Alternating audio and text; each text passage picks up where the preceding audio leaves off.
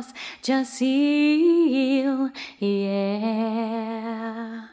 One happy birthday dot com.